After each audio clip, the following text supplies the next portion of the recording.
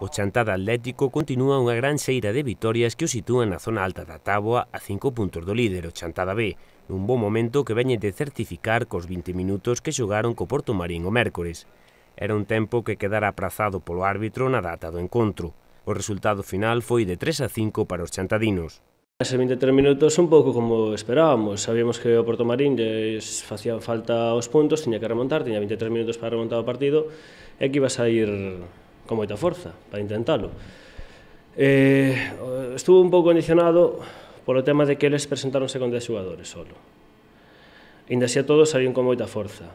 Eh, incluso por banda conseguironos desbordar dúas ou tres veces sacando centros e conseguindo rematarse xogadas con, con perigo, pero bueno, nunha indecisión deles máis ou menos os 8 ou 10 minutos de deses 23 minutos Eh, Miguel aproveitou un, bueno, un mal pase da defensa contraria, marcando un goliño máis, que xa nos deu certa, certa tranquilidade, e a partir de aí sí que eles seguiron apretando, pero en contras sí que podemos haber ampliado esa, esa ventaxa, pero bueno, o marcador xa non se moveu.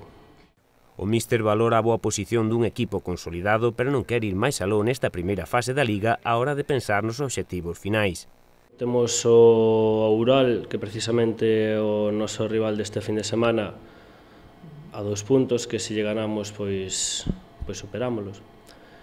Eh, entón, estamos terceiros, estamos contentos, pero bueno, eh, ainda non acabou a primeira volta, isto non é máis que anedótico. Contentos porque o equipo simplemente está competindo ben, nadie nos gana con facilidade, entón que é o que máis ou menos que nos, que nos plantexábamos. O equipo penso que ten unha, xa ten unha identidade, evidentemente eh, temos que seguir pulindo cousas, temos que seguir mellorando e sendo máis constantes, pero penso que xa sabemos un pouquiño que queremos e a que, e a que xogamos. E eso unido a que somos un equipo competitivo, pois, pois bueno, fai que os resultados pois que sexan relativamente positivos, estamos contentos nese aspecto non fai pensar, bueno, que vos movades aí arriba un poquinho xa nestas cousas que temos a obriga de preguntar de si pensades no en xogar eh, o ascenso?